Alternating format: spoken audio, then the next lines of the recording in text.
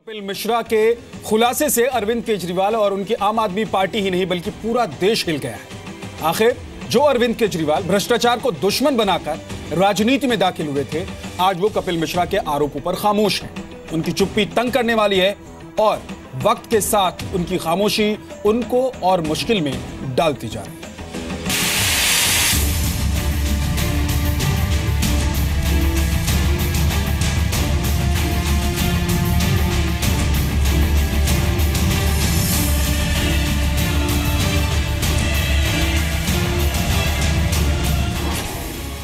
आम आदमी पार्टी के मंत्रियों और विधायकों पर तो हर हफ़्ते आरोप लगते रहते हैं, लेकिन इस बार आरोप किसी और पर नहीं, बल्कि खुद अरविंद केजरीवाल पर लगे हैं। दिल्ली सरकार के पूर्व मंत्री और आम आदमी पार्टी के विधायक कपिल मिश्रा ने जब से मुख्यमंत्री अरविंद केजरीवाल पर अपने ही सरकार के मंत्री सत्येंद्र जैन से दो करोड़ रुपए नकद लेने का आरोप लगाया है, केजरीवाल सफ़ाई देने के लिए सामने नहीं आए हैं। कल भी मनीष सिसोदिया ही सामने आए और उन्होंने कपिल मिश्रा के करीब 11 मिनट के आरोपों को एक मिनट में जवाब नहीं देने लायक ठहरा दिया। मैंने अपनी आँखों से देखा है आरोप नहीं लगाए हैं। कैबिनेट का साथी रहा हूँ, दो साल का, पंद्रह साल का आंदोलन का साथी रहा हूँ। सुख दुख में हमेशा साथ खड़ा रहा हूँ, अरविंद केजरीवाल के वफादारों में गिना जाता हूँ। बोलता नहीं हूँ इस प्रकार से कभी भी। आपने कभी इस प्रकार के आरोप लगाते हुए मेरे को नहीं देखा होगा। पहले उपराज्यपाल महोदय के पास गया हूँ। उपराज्यपाल महोदय को अपना बयान दिया है।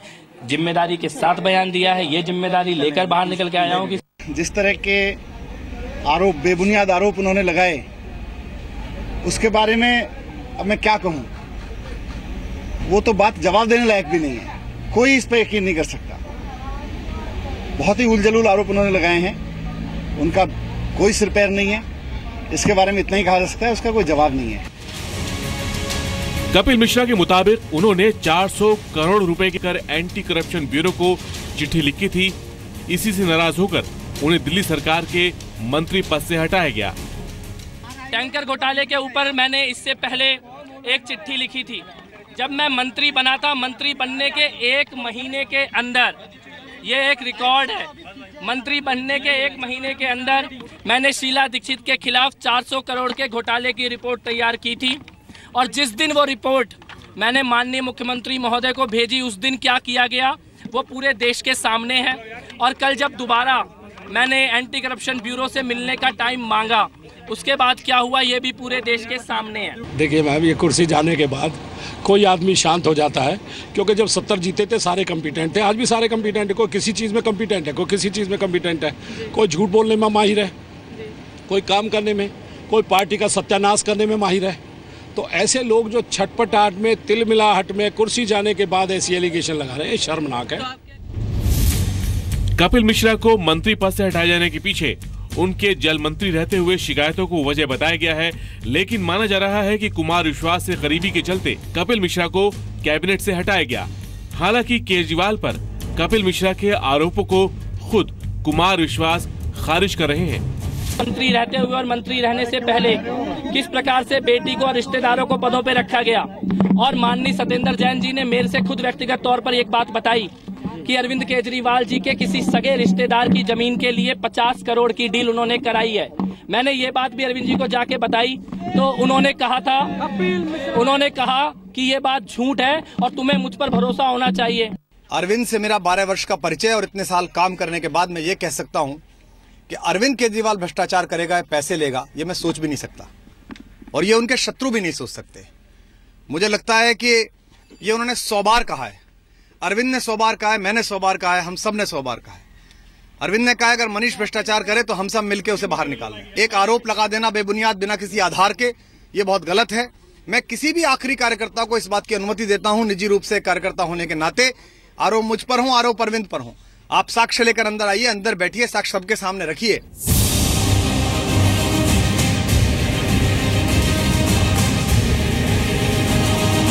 नहीं मैंने कुमार विश्वास जी को एक बात ट्वीट करके कही है। फ़ोन पर तो अभी उनसे बात नहीं हो पाई है कि जिस दिन जैन साहब जेल जाएँगे उस दिन उनको भी मेरी बात पर भरोसा हो जाएगा। वहीं कपिल मिश्रा के आरोपों को योगेंद्र यादव जैसे केजरीवाल के विरोधी भी गंभीरता से नहीं ले रहे। इस पार्टी से मुझे कोई नहीं निकाल सकता। चार पाँच लोग एक बंद कमरे में बैठकर फैसला ले लें पार्टी से निकालने का। मैं उस फैसले को स्वीकार नहीं करूँगा। और मैं केवल ये कहना चाहता हूँ, जितने भी मंत्री हैं सरकार के, उनकी सारी फाइलें, उनके सारे डॉक्यूमेंट जनता के सामने रख दो। जिसने बेमानी करी हो, उसे बाहर निकाल दो, और जिसने कोई बेमानी नहीं करी हो, वो पार्टी में रहेगा। पैसा लेने का जहाँ आरोप है, उसमें प्रमाण होना चाहिए। इतने गंभीर आरोप, इतने हल्के तरीके से नहीं लगाए जाने चाहिए। अगर एक मंत्री कहते हैं कि मैंने मुख्यमंत्री को दो करोड़ रुपया रिश्वत लेते देखा तो मेरा सवाल है कि आज तक आप क्या कर रहे थे? दो करोड़ रुपए लेने, टैंकर घोटाले की रिपोर्ट दबाने और अरविंद केजरीवाल के रिश्तेदार की 50 करोड़ की ज़मीन डील के कपिल मिश्रा के आरोपों में कितना दम है, ये जाँच के बाद साबित हो पाएगा। खुद कपिल मिश्रा अभी तक अपने आरोपों को लेकर कोई सबूत मीडिया को नहीं दे पाए हैं, लेकिन उन्होंने भी आरोप लगाने का तरीका अरविंद केजरीवाल से ही सीखा है।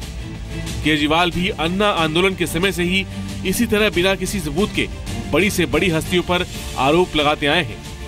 उनसे इस्तीफा मांगते रहे हैं। उन्हें मानहानि के कई मुकदमों का भी सामना करना पड़ रहा है। लेकिन हैरानी है कि केजरीवाल ने अब खुद पर लगे आरोपों को लेकर चुप्पी साध ली है। रूफी जैदी और पूजा मक्कड़ के साथ bureau report, Zee media, Delhi.